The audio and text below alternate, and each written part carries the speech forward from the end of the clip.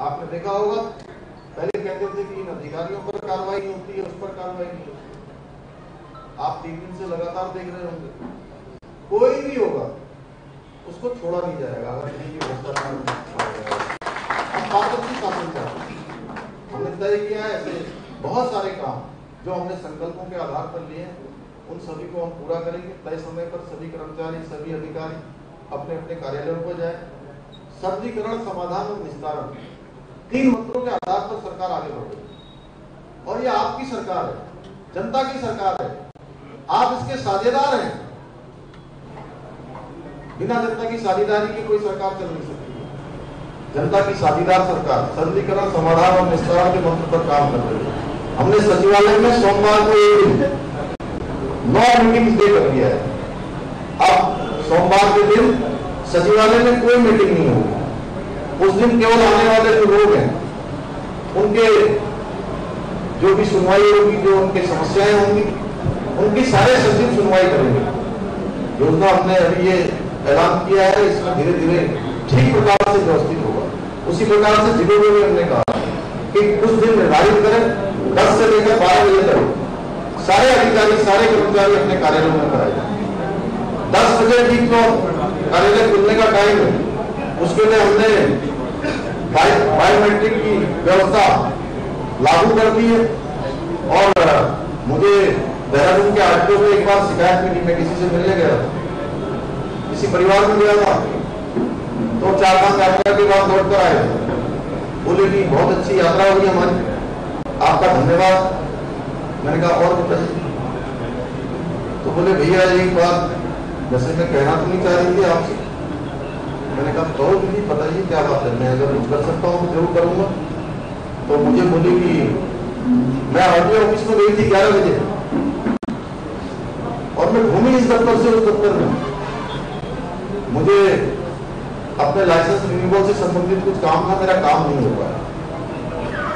तो मैंने उसी दिन तय कर लिया था कि ठीक दस बजे, मैंने पहले पता करवाया कि कितने बजे कार्यालय खुलता है, कितने बजे कार्यालय खुलता है और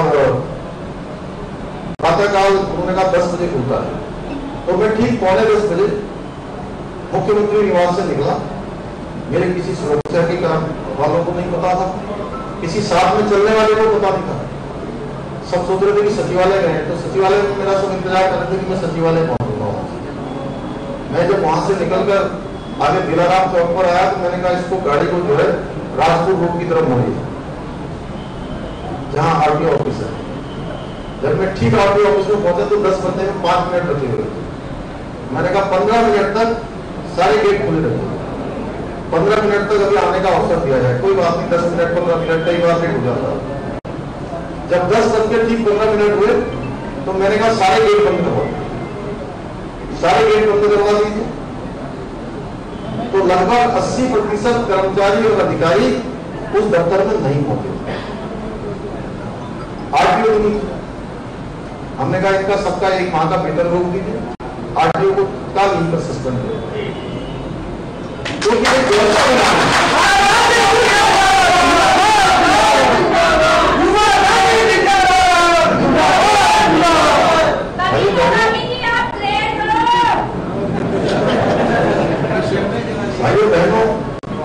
कर किया है कि सभी कार्यालय, सभी अधिकारी, सभी कर्मचारी तय समय पर जाएँ और लोगों की समस्याओं के समाधान के लिए आगे बढ़कर काम करें। एक कार्य संस्कृति और कार्य व्यवहार में लागू हो। और हम अन्य जगह का भी मैं फीडबैक ले रहा हूँ। मैं लगातार पिछले दिनों क्योंकि उपचुनाव होने के कारण से एक महीना उपचुनाव को लग गया। और उसके कारण से कुछ काम बहुत त्वरित गति से जो होने चाहिए थे, कुछ उसमें थोड़ा इनकी स्पीड कम हो लेकिन अब हम स्पीड से पुनः आगे बढ़ेंगे। सबके फीडबैक के आधार पर। और मैंने कहा है कि जिलों के प्रवास पर भी जाऊँगा। वहाँ भी जहाँ भी शिकायतें मिलेंगी, उन शिकायतों के निस्तारण के लिए मैं स्वयं मौके पर कहा जाऊँगा, ये तभी पता लगेगा जब मैं वहाँ पहुँच जाऊँगा। सभी दफ्तर, सभी टाइम से खुलने लगे कहीं आप लोगों को भी लगे। और ये वन फोर सिक्स फोर जो नंबर जो है, हमने जारी किया है, वो केवल इसलिए जारी नहीं किया है कि उस पर काम हो उस पर हम लगातार जो है, उसकी समीक्षा कर रहे हैं, लगातार देख रहे हैं कितने केस आए। कई केसों पर उस पर कार्रवाई हो चुकी तो भाइयों, बहनों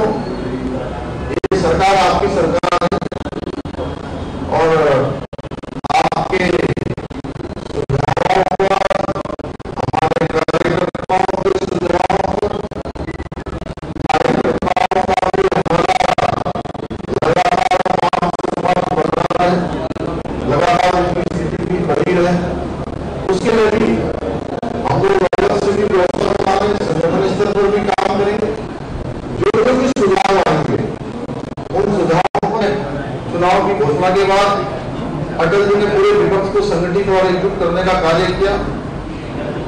उस समय उनके शब्द थे। सब कुछ देकर कुछ न मांगते पावस बनकर ढलना होगा पावस बनकर ढलना होगा, कदम मिलाकर चलना होगा, कदम मिलाकर चलना होगा। तो कोई भूल नहीं सकता उस समय की उस आपातकाल की और उसके बाद की नई सरकार के गठन को। तो पुनः मैं सभी लोकतंत्र सेनानियों को पुनः उनको नमन करते हुए, उन सबका अपनी तरफ़ से अभिनंदन करते हुए और आप सबका, जो आप सब लोग यहाँ पर आज स्मृति दिवस पर इकट्ठे हुए हैं, और हमारे अध्यक्ष जी का हमारे शिव भाई का, कि उन्होंने हमको जो है, आज आप सबके बीच में हाथों का सम्मान करवाया। मैं इसके लिए आप सबका धन्यवाद करता हूँ। आप सभी का पुनः एक बार हृदय की गहराइयों से सबका धन्यवाद। जय हिंद। जय भारत।